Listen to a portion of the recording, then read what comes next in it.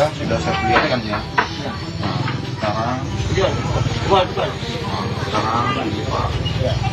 Petugas gabungan Ditreskrimum Polda Kalimantan Tengah bersama Satreskrim Polres Lamandau mendatangi rumah Effendi Bubing di Desa Kinipan, Kecamatan Batangkawa terkait dugaan pencurian yang dilakukannya.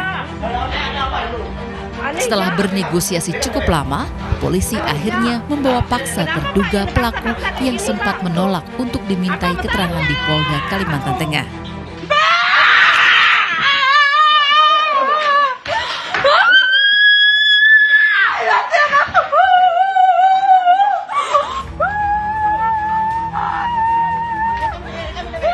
Surat perintah penangkapan Effendi Buhing keluar setelah petugas mendapat laporan kasus tindak pidana pencurian dengan kekerasan dari PT SML Kabupaten Lamandau.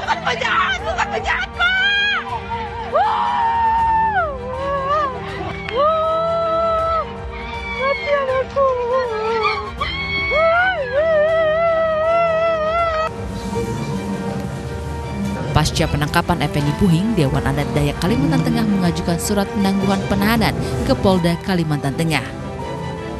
Hal tersebut dilakukan untuk menjaga stabilitas keamanan masyarakat setempat. koordinasi dengan pihak Polda dan menyampaikan surat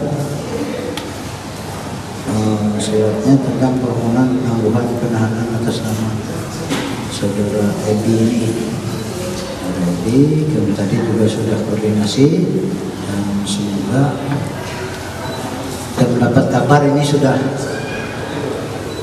dibebaskan ya dibebaskan di sana. Hingga saat ini, polisi masih terus menyelidiki kasus pencurian yang diduga melibatkan Effendi Buhing. Dari Palangkaraya, Kalimantan Tengah, Adi Sata, iNews melaporkan.